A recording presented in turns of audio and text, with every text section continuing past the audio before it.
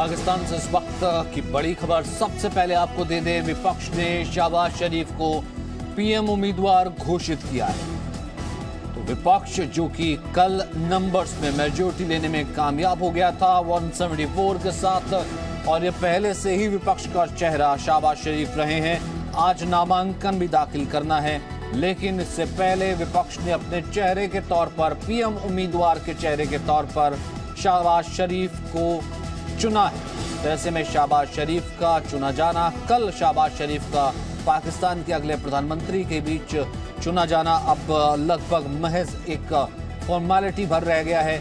यानी शहबाज शरीफ अब अगले प्रधानमंत्री होने वाले हैं पाकिस्तान के।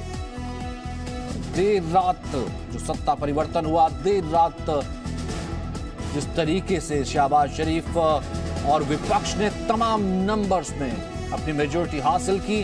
उसके बाद शाहबाज शरीफ, जो कि विपक्ष का लगातार इस पूरी मुहिम में चेहरा रहे हैं। शाहबाज शरीफ को विपक्ष ने पीएम के तौर पर घोषित किया है। पाकिस्तान के पूरे विपक्ष ने शाहबाज को अपनी तरफ़ से पीएम माना है।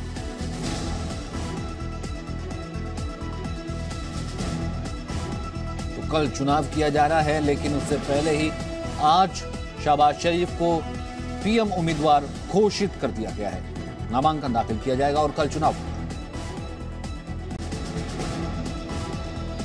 Presenting B news app available on Google play and app store downloaded now